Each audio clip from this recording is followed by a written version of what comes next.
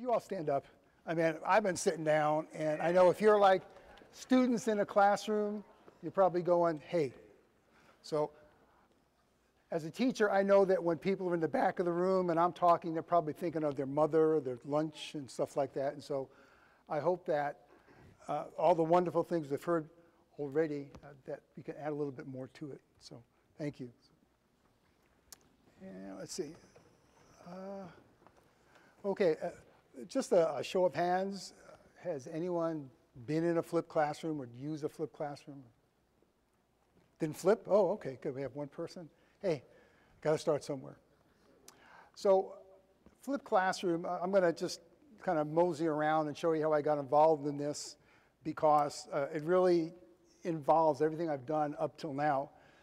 Uh, so I got a, a, master's degree in 1977 after five years of teaching, and I decided to, well, what, what's better thing to do than join the Peace Corps? So I joined the Peace Corps and went to Nepal.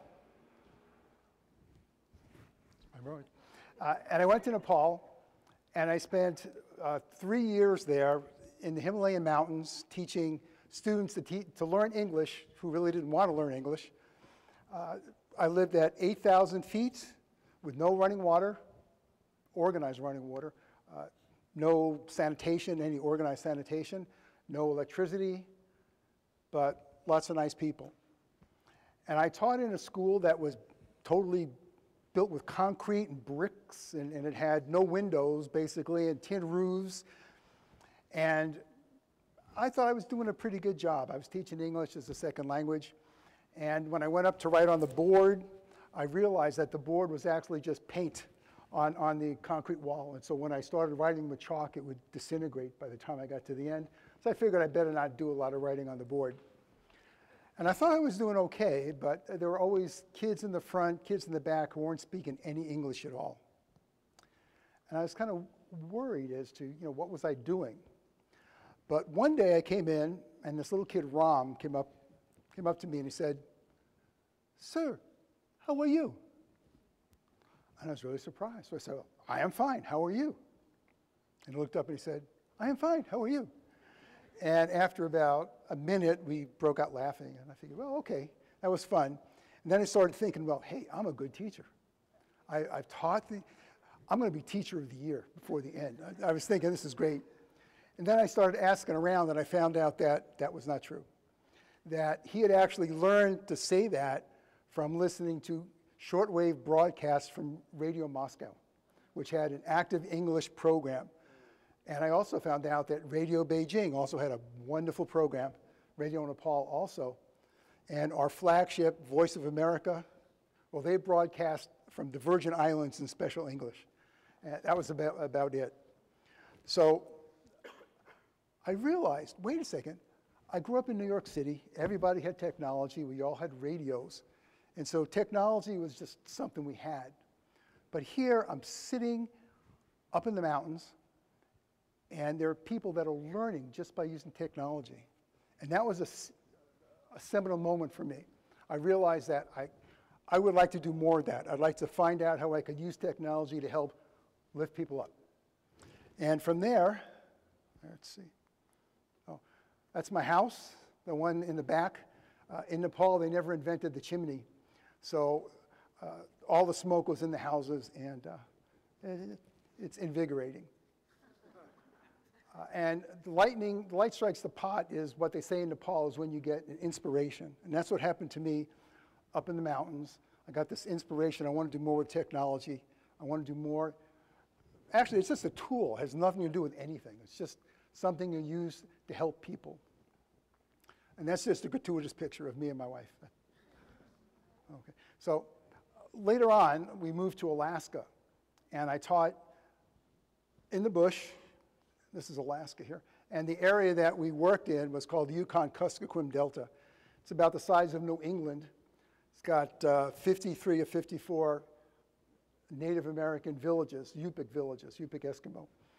And we would teach them. They would come in sometimes to our campus, and sometimes I would actually fly out to the campus. And then I started doing distance learning out there. So we used things such as conveners, uh, audio conferencing. There's me. That's audio conferencing to the villages. Okay, a, little bit different, but not a lot. S- same inside. So, because people were out in the villages, I decided to start making materials that would actually help them learn because they couldn't come in, and very often people did not speak good English or uh, English wasn't their first language. Plus, you had people sitting out there in the villages listening to audio conferencing, and they had hearing problems. Because most people out in the villages, there's all sorts of problems with motors and engines, and, and people's hearings deteriorate after a while. Most of my students were older, uh, 30, 20, 30, 40. And so I'd started making things such as laser discs, and I would make them and send them out. I would make computer programs, videotapes, audio tapes, all sorts of stuff, fax machines. I'd send out faxes and everything, just so that people would, would have things before they came to class. What a crazy idea. Have all this stuff before you come to class. See? Read it, look at it, think about it, email me, whatever. There was no email. No, there was pigeons maybe. And uh, we were in a village called Bethel, and in the winter, the river froze and became a state highway. People could actually drive up. It, it was that, you know, that cold and that high. So uh, I would make all sorts of stuff, and here's one example. This is called the Yugtarvik Museum program. There was a little museum of Eskimo artifacts that's about the size of maybe, maybe both of you all put together. And so I, I, thought it would be a great idea to do a video disc, laser disc. You know, remember laser disc and stuff? So we made a laser disc of this, and we got all the things that were in there and actually made a computer program to go along with it. And we actually used it in school so that people could, could do different technology, uh, different programs about their culture. And later when the, when the museum burned down, that was the only thing that was left. And that actually, that laser disc ended up at the Smithsonian. I also work with a colleague who was, uh, he's a biology teacher, and we decided to make, this is his idea, I just helped him, to make a Yupik science laser disc, which was taking examples from Western Alaska and uh, using them to teach universal science concepts. So for oil and water, we had seal oil and water and, and all sorts of stuff. And, and the idea was that we could use technology to raise the status of Eskimo culture because at that time, uh, the Eskimos, the Yupik Eskimos, had been put down for years, and uh, the treatment was, I, I, can't even tell you how bad it was, but that's not my story. That's their story. So uh, I spent a lot of time developing materials, and then I knew that being able to, to do these kinds of things, give people materials technology before they come to class. When they come to class, they have a better experience. So that was my experience. Then uh, later on, I read about a thing called flip learning. I said, what is that? Must be what I'm doing because it sounds like just what I'm doing. And flip learning was basically a classroom where outside the classroom, before students come to class, they have some stuff to do. Uh, not a lot of deep things, but just take care of the housekeeping stuff or, or learning what pages to read or, or some kind of uh, advanced notice. Lots of teachers in this Flip Learning 1 would make self-made videos. They videotape themselves giving a lecture, which is okay, but I, I would never do something like that. Then in class, students would come in, they'd work on going deeper into the information, into the subject matter, and at the end, they'd kind of go out and what happened was that, that people were actually learning. Students were actually doing better because they weren't sitting through lectures. They weren't almost like us sitting for hours. You know, they were able to be up, they had active learning. And? There we go. Okay, so that's flip learning one. And you see the differences. Uh, flip learning one, basically, teachers made the videos and they uh, you know, they were in isolation. No one else knew what was going on in the school. Shh, flipping, flipping. Don't tell anybody. And students all had the same, they had the same assignment, but they were at least up out of the room. And Jon Bergmann, he was one of the first guys to do this. He once told me, he said, you know, it's not the technology, it's not anything else, it's the relationships. He said that. It's the relationships. The teacher is free, finally, to build up relationships with kids. He can walk around, she can walk around, and they can work with kids individually, as teams, as groups. And it was magnificent. And he said, people recognize this. Flip Learning 2.0, a few years later, technology actually had advanced so much. And you all know that. Technology, I mean, we can do things today that only the nerds could do a few years ago. Flip Learning 3.0 basically kind of broke the mold because technology did all sorts of things, uh, give us, gives us all sorts of powers that we couldn't, things we couldn't do before.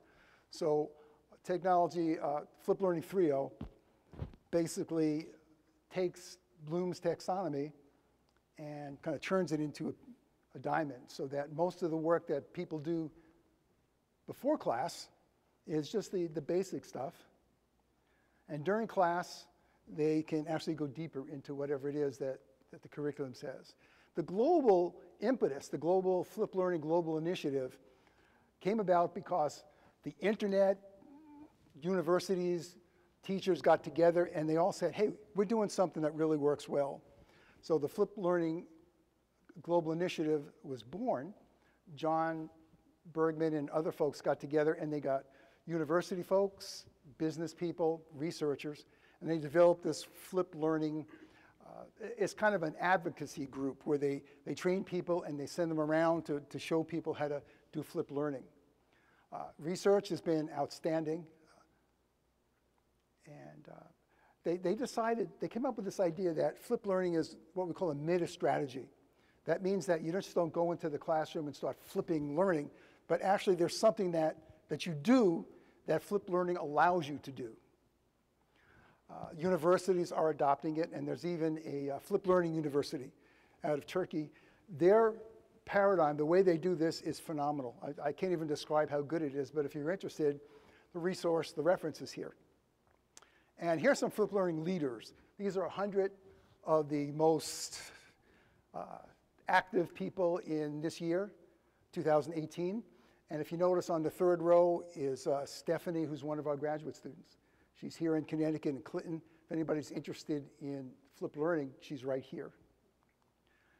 Uh, there's a flip learning global faculty also that are trained to, to do flip learning. And I had the privilege of actually observing a flip learning class at Harvard, Harvard Medical School. We got invited to, to see what this one professor was doing, an, an old professor named uh, Schwartzstein. And he had invited Jon Bergmann to come in, and Jon invited us uh, to come in with him. And so we sat down and watched how he was working this class, this traditional class of lecturing his med students. And he was walking up and down the aisles, just like Socrates in the old days. And he was talking to people, and he was, people were asking him questions, and he would turn back on them. And it was exciting. And people at the desks were picking up these little index cards and writing down things, putting them in, had no idea what it was. And I didn't know any of the science. So I kind of, it was okay, it was fun. Then all of a sudden I heard this medicine. I said, wait a second, I'm taking that medicine. And then uh, they were doing hematology, which is the blood. And then they started mentioning a couple of symptoms. And I said, wait a second, that's me. I have that symptom too. And so I was sitting there, rapt, hoping they would come out and let me know what I have. But at the very end, all they did was kind of leave it to the students. And at the end of the class, uh, we spoke with the professor, and I said, Well, what were those index cards? And he said, You know, when you're in a group and people give each other answers, one person comes out with the answer and everybody goes, mm-hmm. said, Those people who are nodding their head don't know it. So it's part of his practice to actually do some stuff, write down, which, as an old writing project fellow, I, am a writing project person. Uh, I believe that writing is probably the, one of the best forms of thinking and learning. Then he also, he had students get together, talk, give each other all sorts of comments and feedback. And as I was walking out, I said, wait a second.